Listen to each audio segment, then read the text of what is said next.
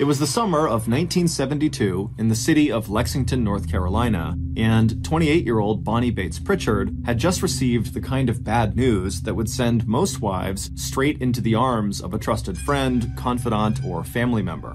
But Bonnie was not like most wives. So, when her husband of five years suddenly walked out on Bonnie and the couple's two young children, Bonnie did what she had done ever since she was a little girl who had grown up on a farm in the town of Welcome, just one town over. Bonnie didn't talk about her feelings. She didn't threaten to make Steve Pritchard sorry for abandoning her and their three and a half year old son and two year old daughter. And Bonnie also did not throw up her hands in despair over whether she'd be able to pay the mortgage on the new little ranch house the couple really shouldn't have bought in the first place. In fact, on that hot July day, as her husband headed off into the sunset with his latest girlfriend, Bonnie didn't even notify her parents that she was about to become the first person in the Bates family to get a divorce. Instead, as Bonnie walked back inside the house alone, she hid her hurt as best as she could from her children, Chris and Angela. And when she finally did have a few minutes to herself to really absorb the news that she was now a single mother, Bonnie did her best to be practical rather than self pitying. Bonnie reminded herself that she had a steady job with an insurance company up in the big city of Winston-Salem, 20 miles away, that it was primarily her income anyway that had been supporting the family since she and Steve, five years her junior, had gotten married back in August of 1967. Sitting at the kitchen table, Bonnie spread the household bills out in front of her. With the help of her mom and dad, who lived just two miles away, plus the church daycare where her children were already enrolled, Bonnie told herself she would just have to find a way to make their lives work, and to pay every single bill and debt that was stamped with the name Pritchard. It wasn't until Bonnie's father happened to stop by Bonnie's house several days after Steve had walked out on her that Bonnie's emotional armor showed its first and only crack. George Bates, a bricklayer who had helped build the Methodist church in Welcome that Bonnie and the rest of her five siblings had attended throughout their childhood and teen years, had knocked on her door and asked if there was anything she needed. And maybe because Bonnie and her father shared the same quiet reserve, after telling her dad that Steve had left her, Bonnie was finally able to break down and instead of explaining or defending herself, she could just plain cry. Bonnie knew that people were already talking about Steve and his new girlfriend, and about silly Bonnie Bates, who was so desperate for love she had married not a grown man, but a teenager. And Bonnie knew there was a little bit of truth in that gossip. When she had first met 17 year old Steve Pritchard, most of her friends were already married, while 23 year old Bonnie had had very little experience with boys or with dating. But while Bonnie's family and her friends saw Steve as a smooth talker who was more interested in flashy cars than he was in working, Bonnie had been completely smitten with his big brown eyes and what she described as the handsomest nose in the whole junior class at West High School in Lexington. But if Bonnie worried that her father might respond to the news of her separation with an I told you so, she was about to be pleasantly surprised because George saw something in his daughter that most men, and even Bonnie herself, just often didn't notice. Behind Bonnie's thick glasses and quiet manner, there was an adventurous and intelligent woman whose long hair now framed facial features that over the last few years had become strong and well defined. And while Bonnie was as slender and retiring as ever, the breakup of her marriage and the financial responsibility that was already settling squarely onto her shoulders would show an inner strength that would become one of Bonnie's most defining personal characteristics. So even when Steve completely failed to pay court ordered child support and alimony, Bonnie, who did not want to further disrupt her children's lives by moving, worked extra hours to cover the mortgage and slowly get ahead on the bills. And even though the risk that Bonnie took in marrying Steve Pritchard had ended in divorce and four exhausting years of Bonnie slowly dragging herself and her children out of a deep financial hole, the fact was, Bonnie had taken other risks in her life that turned out to be both very smart and also very bold, especially for a divorced single mom in rural North Carolina back in the early 1970s. Even before she met Steve, Bonnie had left the small town of Welcome after graduating from high school, and while working as a sales clerk at a department store in Lexington, she had enrolled in courses at Lexington Business College that taught her the basic data entry skills that led to her job with the insurance company in Winston-Salem. And now that Bonnie was on her own again, no matter how tired she was when she arrived home after work with her equally tired small children, Bonnie would stay up late into the night, making sure to teach herself the latest advances in data entry. Of course, Bonnie's children also paid a high price for their parents' divorce. Steve seldom came back to visit his two children, and even when he did, he never seemed to have the money to pay what he owed to Bonnie. In the end, Bonnie's struggle paid off. By the time she was 32 years old, Bonnie was not only a supervisor at Integon Insurance, she was also the only person at that level of management who had achieved that distinction, even though she did not have a college degree. But Bonnie's hard work also paid off in another way, one that she could never have dreamed of for herself. Because in 1976, four years after Steve had left Bonnie and the kids, Bonnie was stunned to discover that she had attracted the romantic attention of one of Integon's highly regarded financial executives. And not only was Lieth Von Stein several big rungs above Bonnie at the insurance company where they both worked, to Bonnie he also seemed totally out of her reach socially.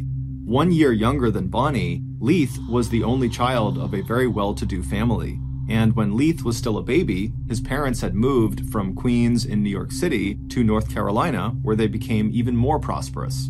Once in Raleigh, the capital of North Carolina, Lieth's father had partnered with his brother, Lieth's uncle, in running a highly successful dry cleaning business. And by the time Lieth was in high school, Camel City Laundry and Cleaners had become one of the most successful businesses of its kind in the entire country. Although Bonnie and Lieth only had their first social encounter right before Lieth was about to leave North Carolina to take a job in Cincinnati, Ohio, Lieth surprised Bonnie by courting her even after he moved. And despite the difference in their financial and social backgrounds, Bonnie and Lieth actually had a lot in common. Like Bonnie, Lieth was an extremely private person, although among his friends he was well liked for his sharp sense of humor and the fact that he let you know if something was bothering him, but he was not someone who held a grudge. And while Lieth may have had more self-confidence and definitely more formal education than Bonnie, both of them seemed to be shy and reserved when it came to dating. But it turned out that Lieth had seen in Bonnie the same qualities that were so apparent to her father and her family. Behind Bonnie's appealing but shy exterior, Lieth found himself strongly attracted to Bonnie's keen mind, gentle disposition, and her dedication to her children and to her work. So, a romance that had begun with Lieth overhearing Bonnie ask a friend where to get a pair of boots for a Halloween costume would culminate three years later in marriage. Lieth had started out by asking Bonnie if she wanted a ride to go get those costume boots, and by August 17, 1979, the couples were saying, I do. And right after exchanging those vows, Bonnie left her job at Integon Insurance, Lieth left his job in Cincinnati, Ohio, and after a short stop in Indiana, the new family had moved back to their home state of North Carolina. There, in 1981, three years after their marriage, Lieth and Bonnie and their two children settled into a roomy two-story home on Lawson Road in the small town called Little Washington. Lieth had a top job as a financial auditor for a local yarn company called National Spinning, and over the next three years, Bonnie would also re-enter the workforce as a computer programmer analyst, and Chris and Angela would be enjoying the kind of comfortable upper middle class life that had seemed so completely out of their reach when they had been children. And then, in the summer of 1987, the Von Stein family got the phone call that would again change everything. After an 18 month long period during which Lieth's beloved parents, first his father and then his mother four months later, became sick and then died, Lieth was notified that his uncle had also passed away. And suddenly, practically overnight, Lieth, the beneficiary of all three of his relatives, had become a very rich man. Now that all the estates were finally settled between the inheritance from his parents and his uncle, Lieth was now looking at a financial portfolio that was worth $2 million, a sum that today would be worth more than $3 million. By 1988, the Von Steins had also passed some other important milestones. Lieth and Bonnie had made it through Chris's teenage years, a rite of passage that Lieth had found much more challenging than Chris's childhood, when Lieth spent weekends and evenings taking his stepson to sports activities and after-school events. But now, Chris was 19 years old and enrolled at the North Carolina University campus in Raleigh, almost two hours to the west. Chris's first semester grades had not been great, so he was staying on campus for the summer semester. Lieth hoped Chris was taking to heart his parents' warning to focus on his schoolwork or run the risk of losing his $50 a week allowance. As for Lieth's stepdaughter, who was at least as quiet as her mother, Angela was still at home, but she had her own circle of friends, and she had fallen in love with horses. So much so that even on weekends, the 17 year old was willing to give up the chance to sleep in and instead get up early so she could head to the stables and do some riding.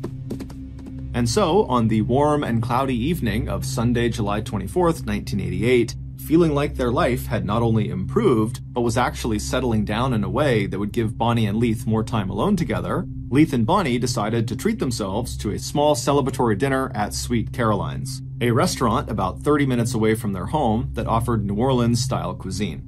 Sitting in the dark, intimate dining room splashed with color from handcrafted quilts hung from the ceiling, the two of them enjoyed a carafe of wine and the beef and chicken Sunday specials. Lieth especially was feeling happy and hopeful.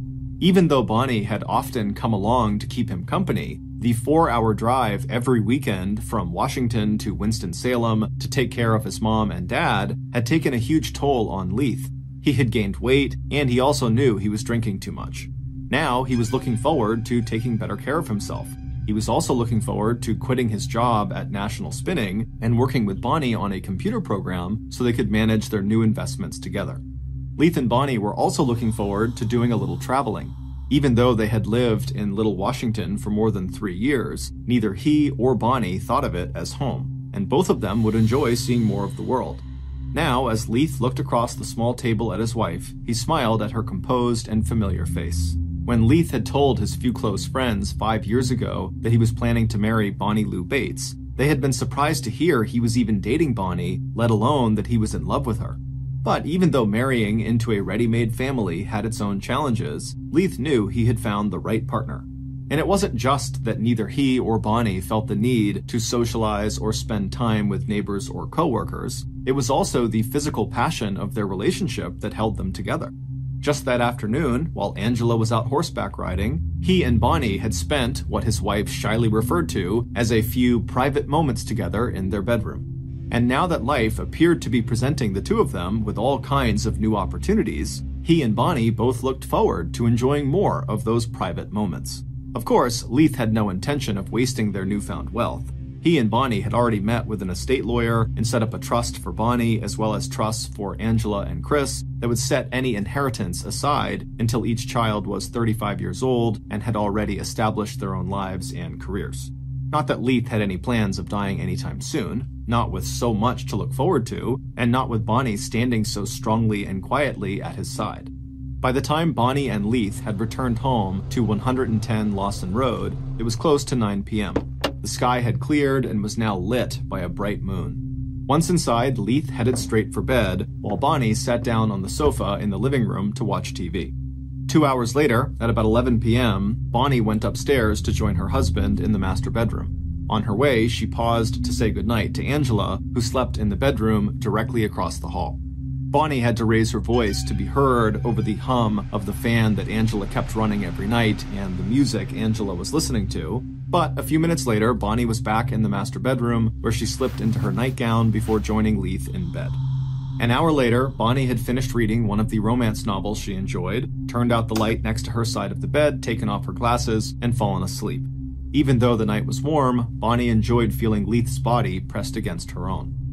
Four and a half hours later, at 4:27 a.m. on the morning of July 25th, the Beaufort County Sheriff's Department received a 911 call from 110 Lawson Road in Little Washington. The caller was speaking so softly that the emergency dispatcher, Michelle Sparrow, could hardly understand what the woman on the other end of the line was saying and actually wondered if this was a prank call. But when Michelle asked the woman to speak louder, the caller's faint reply chilled Michelle to the bone.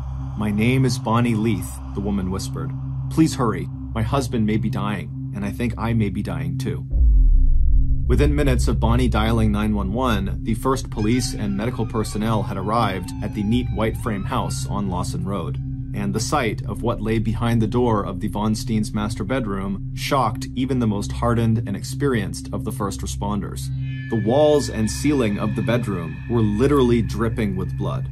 Even before the medics checked for a pulse, it was clear that the stocky man on the bed, dressed only in his boxers, was dead. With his swollen eyes and crushed skull, he was clearly the victim of one of the most gruesome and violent attacks that Beaufort County law enforcement had ever seen. But it was the person lying on the floor next to the bed who commanded the attention of medics and later police, because it was clear that whoever had just killed Lieth Von Stein had also intended to kill his wife Bonnie and from the look of the cuts on Bonnie's face and the two and a half inch long stab wound in the center of her chest, that attempt had very nearly been successful. By the time Bonnie had been rushed to the hospital, she was already suffering the effects of a collapsed lung and massive blood loss.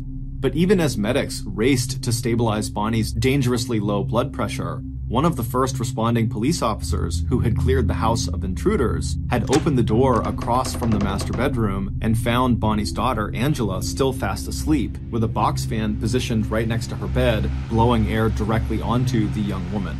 When Angela finally heard the officer's voice, she seemed to come fully awake, sitting up abruptly and wanting to know what happened.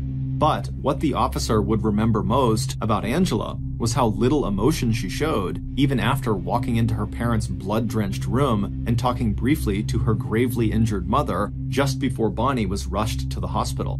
But if Angela's response seemed cold and distant, her brother's response was just the opposite.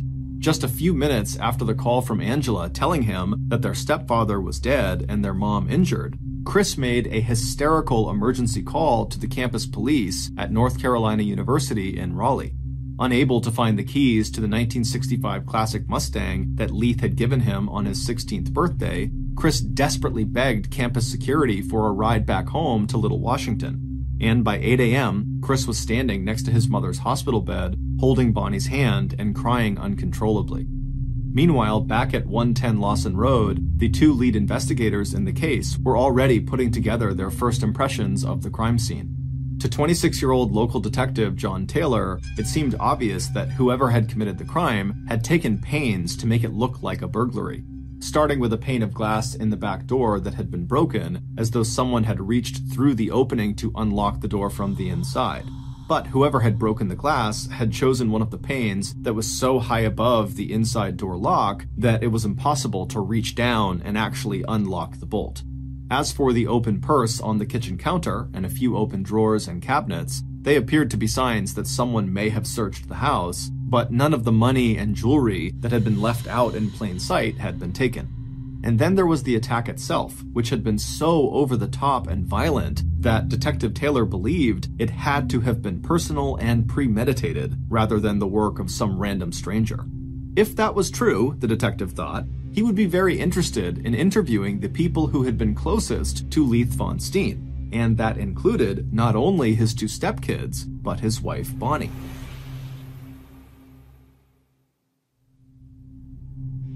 Detective Taylor's observations about the crime scene being staged to look like a burglary were confirmed when he was joined at about 9 a.m. that same morning by an agent from the North Carolina State Bureau of Investigation. Together, State Agent Lewis Young and Detective Taylor began overseeing the collection and photographing of possible evidence. They also ordered local law enforcement to process the crime scene and dust for fingerprints, as well as interview neighbors and search for a possible murder weapon.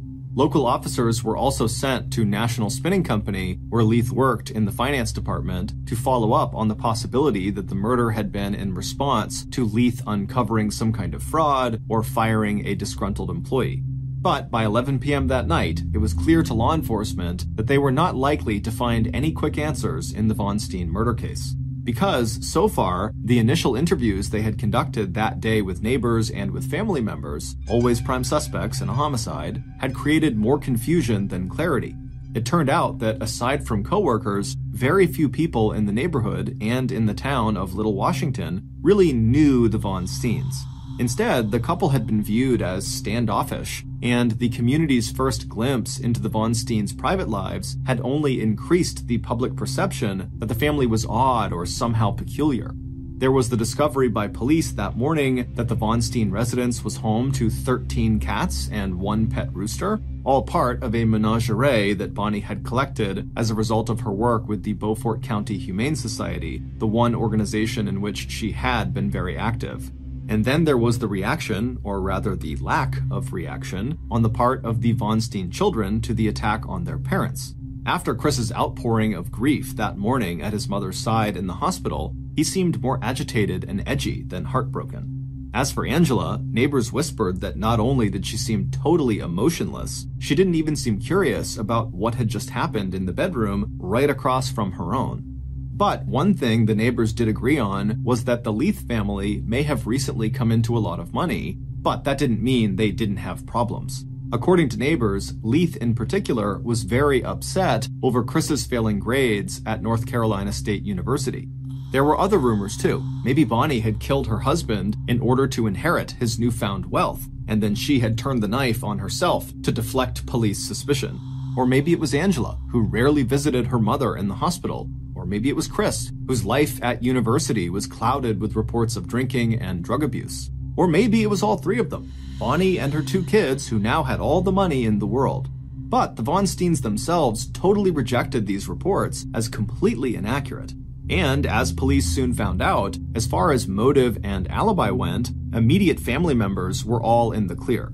Not only could multiple witnesses confirm that Chris was two hours away in Raleigh when his parents were attacked, he told investigators that any friction between him and his stepdad had been totally minor. And when police turned their attention to Angela, her story lined up with what her brother had told them. She and her brother didn't always see eye to eye with their parents, but that didn't mean the kids wanted to kill their mom and dad. As for the night of Lieth's murder, Angela had nothing to add to what police already knew.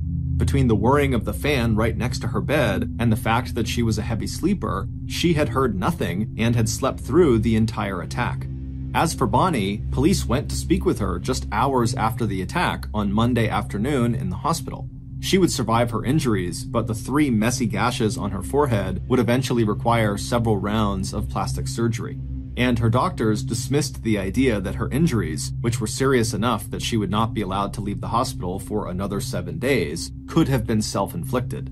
But despite Bonnie's best efforts to tell police what happened on the night Lieth was killed, all she could offer were a series of disjointed memories. She'd been awakened by screams from her husband, who had seemed to be leaning over and trying to protect her from something or someone, and the only image Bonnie had of their attacker was that she thought it was a man with bulky shoulders who had been swinging a club of some kind.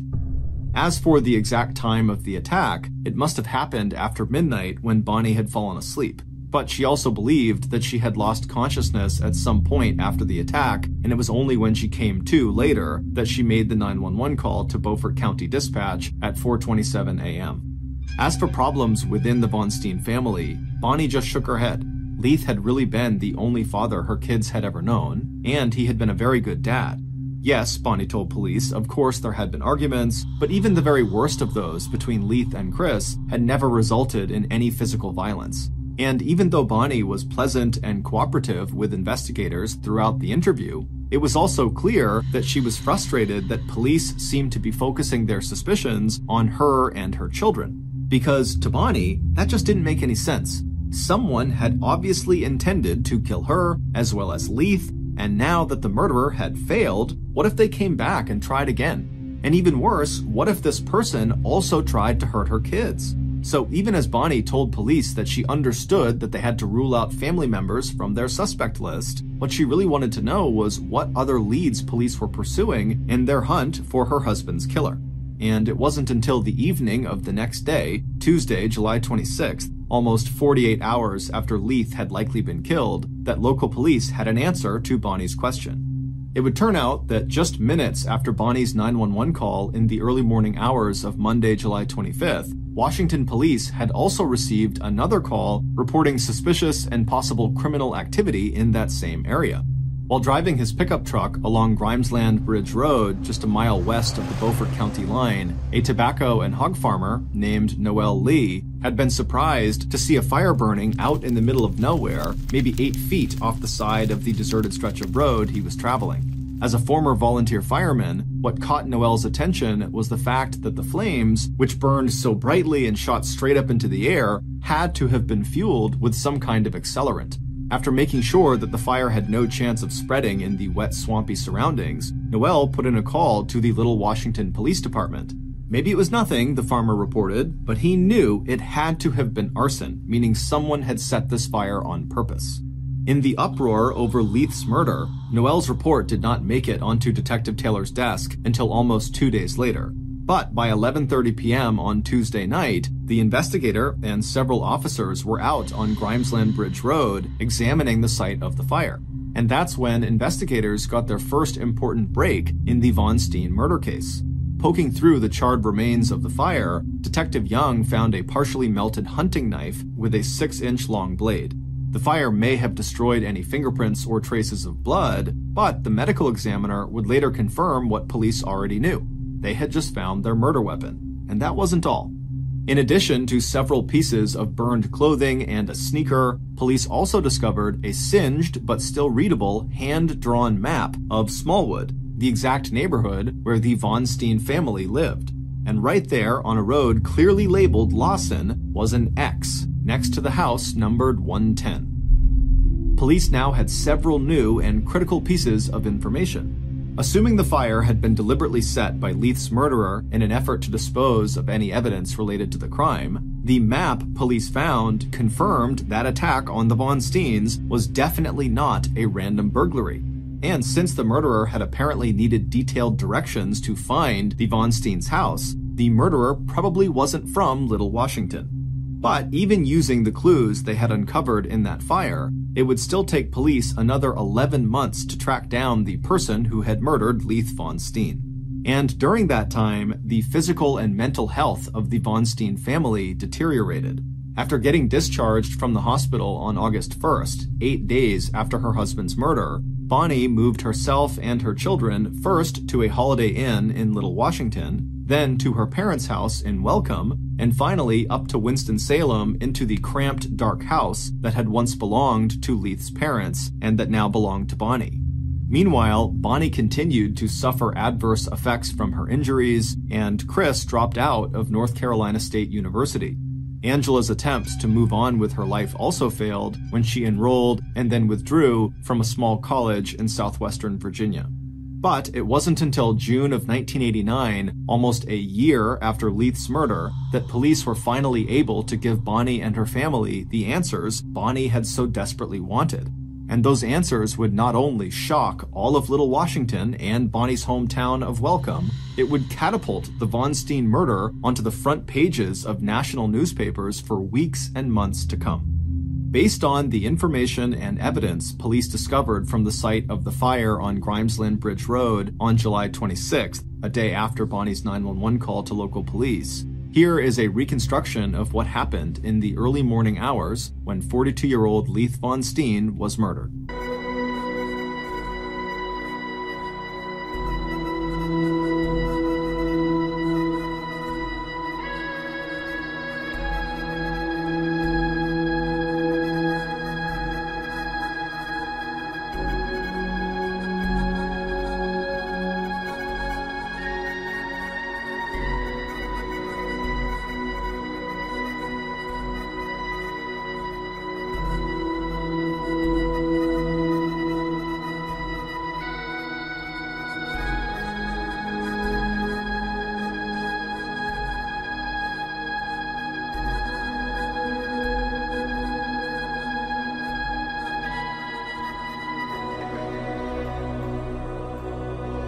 After Bonnie said goodnight to Angela sometime after 11 p.m. on the night of Sunday, July 24th, she walked back into the bedroom she shared with Lieth and changed into her nightclothes. Just before getting into bed, Bonnie gently roused her husband to see if he might like a glass of iced tea or water. After a mumbled no, Lieth turned over and immediately fell back to sleep. After reading quietly for 30 minutes, Bonnie took off her glasses, turned off her bedside light, and she too fell fast asleep. Meanwhile, the killer had made their own preparations for the night, packing a baseball bat and hunting knife into a green canvas knapsack. And now, at 2:30 a.m., the hand-drawn map spread out on their lap had led the killer directly to their target here in the town of Little Washington. They had actually arrived a little earlier than expected, so for the next half hour, the killer just sat in their car and absently fiddled with the key to the back door of 110 Lawson Road, and they made a mental review of the inside of the house. The killer didn't think getting in or out of this house would be a big problem. And sure enough, about 30 minutes later, dressed in dark clothes and carrying the green knapsack, the killer made no sound as they slipped inside the back door and, just as quietly, made their way up the stairs to the first bedroom on the right. If need be, they would kill the girl named Angela too. It all depended on the next few minutes and whether or not she slept through what was about to happen. Stepping across the threshold into the master bedroom, the killer paused, allowing their eyes to further adjust to the dim moonlight shining in through the partially curtained windows. Then the killer took a deep, steadying breath and gripped his weapons. First the bat, then the knife, he told himself. And then, feeling ready, he stepped forward and got to work. By the time Bonnie woke up to the sound of her husband's short, piercing screams, Lieth was sitting up in bed. In the minutes that followed, the assailant would hit Lieth at least five times in the head with the baseball bat, causing deep skull fractures and multiple cuts and gashes. The assailant would also strike Bonnie in the head and sides, including a blow aimed at Lieth that would break Lieth's wrist and fracture Bonnie's thumb. Along with cataloging defensive scrapes and bruises, the medical examiner who would later conduct the autopsy on Lieth's body reported a total of seven stab wounds in Lieth's upper back and shoulder, and one stab wound to the left side of his chest that had completely punctured his heart. Throughout the attack, Bonnie was aware only of a single dark figure at the foot of the bed, striking her and her husband again and again. And with each blow and each downward plunge of the hunting knife, another spray of blood spattered across the walls, the bed, the floor, and the ceiling. At least twice during the attack, Bonnie lost consciousness. And the last image she had of the attacker was when she woke up on the floor next to the bed and the assailant was standing at her feet. Then the figure disappeared, and Bonnie heard a whooshing noise and the soft click of a bedroom door closing before she once again drifted into unconsciousness. What the murderer did not know was that Bonnie was not dead. The knife strike into the very center of Bonnie's chest had glanced off bone and cut not onto the heart, but into the chest wall, causing her lung to collapse and her chest cavity to fill with blood, but leaving her heart intact. When Bonnie woke again just before 4:30 a.m., she reached up thinking she needed to get back on top of the bed. That's when she felt Lieth's hand. His fingers were sticky with blood and were hanging limp off the side of the bed. It was at that point that Bonnie, who was now sure that her daughter Angela must also be in danger, dragged herself to the phone and called 911. Meanwhile, the killer had already left the house. Just before exiting through the back door, they had rifled through the handbag that had been left out on the kitchen counter, and then they knocked out a pane in the back door window so it would look like the door had been forced open and the house had been robbed. But even then, as he failed to grab the green knapsack he dropped on the back porch, the killer's thoughts were already far away. All summer long, the killer had gotten more and more deeply involved in the game. But until now, all the points the killer had ever earned in the game had been based on carrying out imaginary adventures, just role playing different scenarios they'd created in their mind. But tonight, this adventure had been real. This time, the killer had entered a real castle, killed a real sleeping overlord, spared his sleeping daughter. This time, the killer hadn't used a game board and dice and a deck of cards to play Dungeons and Dragons. This time, the killer had brought their favorite, all consuming game to life. This time, the killer had drawn real blood. More blood, in fact, than he'd ever imagined a human body could contain. As the killer slipped into the waiting car, he imagined Chris Pritchard's face when he told Chris all the details. Because the killer had just done exactly what Chris Pritchard had wanted him to do to kill Chris's stepfather and mother. James Upchurch III, known to good friends like Chris as Moog, turned to look at the young man next to him in the driver's seat. Gripping the steering wheel, the driver, 21 year old Neil Henderson, shot a questioning look back at Moog. Neil had recently dropped out of North Carolina State University in Raleigh, but Moog and Chris had invited him to join them in their conspiracy to kill Chris's parents, promising Neil a payment of anywhere between $2,000 and $20,000. In a moment, Neil had his answer. Pulling off his black ski mask, his face alive with excitement, Moog punched the air with a balled fist. I did it, he told Neil. I can't believe I did it. It would turn out that by the end of his second semester at North Carolina University in Raleigh, Chris Pritchard wasn't just getting bad grades. In fact, Chris's problems were much, much worse. Since arriving at college, Chris hadn't just become a heavy drinker, he had also become a habitual drug abuser, a habit that was costing him more than he could possibly cover using the $50 a week allowance he got from his parents, Lieth and Bonnie. While his parents did not know the extent of their son's alcohol and drug addiction, which now included marijuana, ecstasy, cocaine, and LSD, they had given Chris an ultimatum. He either used his summer semester to clean up his act and improve his grades, or his parents would stop his allowance and he would have to leave college and find a job. But by the start of that summer semester, Chris had discovered something else at college that was just as addictive as the alcohol and drugs. Along with two other boys on campus, Chris had become obsessed with the complicated and immersive role playing game called Dungeons and Dragons, which Chris had first started playing back when he was 12 years old and living at home. First introduced in 1974, Dungeons and Dragons allowed players to create and assume the identity of adventurers from all different historical periods, races, and occupations. Each game had a dungeon master who would act both as a referee and storyteller and by completing various adventures and challenges, each player could earn so-called experience points that would allow them to move to higher and higher levels within the game. The theme that James Upchurch III, Neil Henderson, and Chris Pritchard chose for creating their adventures was medieval swords and sorcery, a theme that had its roots in the life and times of people who lived in Europe during the Middle Ages.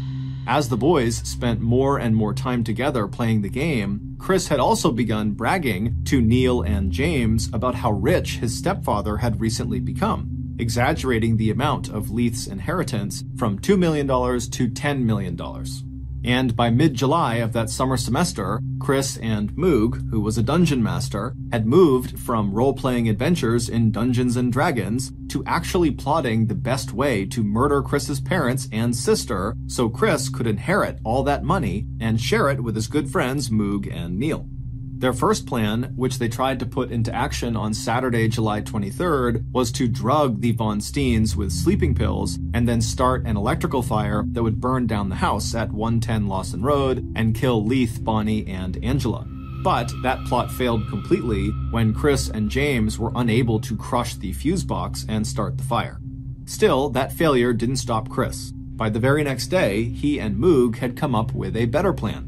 This time, Chris would stay at college and create an airtight alibi for himself, while Neil used Chris's white 1965 Mustang to drive Moog, who did not have a valid driver's license, down to Little Washington so Moog could kill Chris's parents.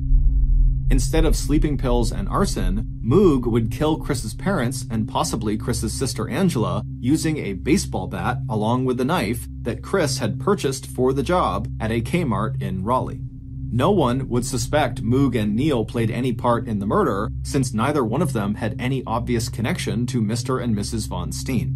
And all Chris had to do was get them a key to the Von Stein house, draw them a map of exactly where his parents' house was located, then make sure that during the time of the murder, he was seen by plenty of people playing cards in a friend's dorm room until 3:30 a.m. on the morning of Monday, July 25th. Once Moog had committed the murder, he and Neil would stop somewhere on their way back to Raleigh and get rid of the murder weapons and any other evidence, including the map, that could tie any of them to the crime. As for Angela, if she woke up during the attack, then James should kill her too. And once Chris received word at university that his parents were dead, he would cover for the absence of his car, the classic white Mustang that had been a gift from his stepfather, by saying that he could not find the car keys and needed a ride from campus security to join Angela and his injured mother in Little Washington. Chris would later say that he was happy his mom survived the attack, but friends and neighbors would tell police that instead of asking how Bonnie was doing after the attack, the questions Chris was asking everybody was, what had Bonnie said? What had Bonnie seen? And what did Bonnie remember about her attacker? As for his co-conspirators, Neil and James, aka Moog, as soon as Chris got his hands on his parents' money, Moog would get $50,000 and a brand new Porsche sports car as payment for killing Chris's parents, and Neil, the driver, would get a nice payday as well except that under the terms of Lieth's will, neither Chris or Angela would be able to touch any of their parents' money until they were 35 years old. And as it turned out, the murder might have gone unsolved except for two things the report of the fire that led to the discovery of the murder weapon and map, and a decision by Little Washington police back in March, seven months after the murder, to reinvestigate all aspects of the crime. Because from the start, the more police saw and learned about Chris Pritchard, the more certain they were that regardless of his alibi, Lieth's stepson must have been involved in Lieth's murder. That new investigation included running the name of Chris Pritchard's friends up in Raleigh through a national criminal database to see if any of them had criminal records. That search turned up the name of James Upchurch III, aka Moog, who had been arrested on three previous occasions once for breaking into his local high school with friends and stealing some electronic equipment, and two other times for stealing a cooler of beer and for driving without a license. In following that new lead, investigators began a more systematic interrogation of this core group of three friends who had started to spend every waking hour together playing the potentially violent game of Dungeons and Dragons. And as the pressure on the three boys increased and Chris's mental health declined, investigators believed it was only a matter of time before one of them broke down and confessed to some involvement in the Von Stein murder. And that is exactly what happened. On June 9, 1989, almost 11 months after Lieth died, Neil Henderson cracked. In exchange for a plea deal that would minimize his prison sentence, Neil met with investigators and described Chris's plot in detail while also insisting that he, Neil, never really believed that Moog would actually go through with the murder. Neil wasn't the only conspirator to strike a plea deal with the Beaufort County District Attorney's Office. In exchange for testifying against James Upchurch III, aka Moog, Chris Pritchard, who admitted it was his idea to kill his parents and possibly his sister, also agreed to plead guilty to aiding and abetting murder. Chris would eventually tell his shocked and heartbroken mother that he had been so strung out on drugs and so lost in the fantasy world of Dungeons and Dragons that when he planned her murder and the murder of the one man she had ever truly loved, Chris, who had dropped 19 tabs of LSD in the month leading up to the murder, LSD is a hallucinogenic drug, felt it would be better to kill his parents than face their disappointment when they learned just how badly he was doing in school and in life. On January 24, 1990, one and a half years after Lieth's murder, 22 year old James Moog Upchurch was convicted of first degree murder and sentenced to death in the gas chamber. Two years later, in 1992, the Supreme Court vacated that death sentence and instead imposed a term of life in prison. 22 year old Neil Henderson was sentenced to 40 years in prison, but was released on parole just 10 years later in December of 2000. As of 2021, he was living in North Carolina and managing a restaurant. Chris Pritchard was sentenced to life in prison plus 20 years. After going through drug and alcohol rehab, he became a born again Christian and was released on parole in May of 1997. Immediately upon his release, Chris returned to North Carolina and moved back home with his mother. Chris completed his parole in May of 2012. As of 2022, he is a manager for a men's program at Soteria Community Development Corporation and lives near Spartanburg, South Carolina with his wife. Chris and Bonnie remain close. We want to thank two authors whose nonfiction books were key sources in writing this podcast episode. The first is Cruel Doubt by Joe McGinniss, and the second is called Blood Games A True Account of Family Murder by Jerry Bledsoe. Both books were published in 1991, and in the following year, each was the basis for either a TV movie or miniseries. If you're interested in learning more about the Von Stein case, Please check out our sources for links to official documents, as well as newspaper, magazine, and internet articles.